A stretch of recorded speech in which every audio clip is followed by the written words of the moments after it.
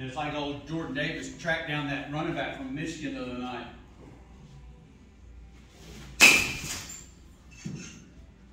We'll wait on that one. A little early on that one. it was outside, you just got there early and you kind of came around it. Much better. I know that bounce. but much better with that letting that ball travel.